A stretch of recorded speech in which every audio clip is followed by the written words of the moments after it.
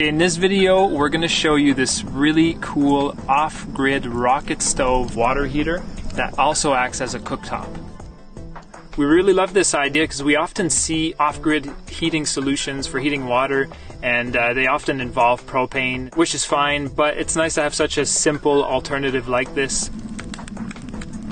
We're here at a place called La Nature à l'état pur in Harrington, Quebec, Canada. And we're just hanging out with Sebastien and Isabelle. They're a really creative couple. They've built a fantastic super adobe home and they've also experimented a lot with rocket stoves. And since they're pretty much off the grid, they wanted to try and create a rocket stove that could heat water. So here we have a basic rocket stove with three openings. A rocket stove is a really simple design. There's a small hole at the bottom and the air naturally just gets sucked in through the bottom hole and it goes through the top here.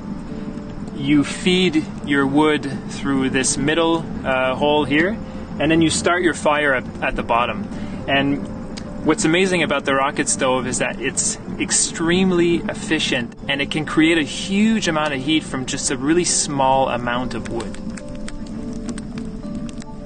So keep in mind that this is a prototype, that's the first one they've tried, so this does look a little bit complicated, but it's actually pretty simple. Basically, that is their water source. They fill up their blue tank, which is the water that they want to heat up, and right now it's just cold water in here. So there's basically two pipes attached to this barrel. At the bottom here, there's the cold water that runs all the way through that pipe. And then it's hooked up to a copper pipe. And on the inside of the rocket stove, they built it so it goes up in a spiral around the chimney here. So the cold water comes in through the bottom here. It gets heated through the pipe by the fire.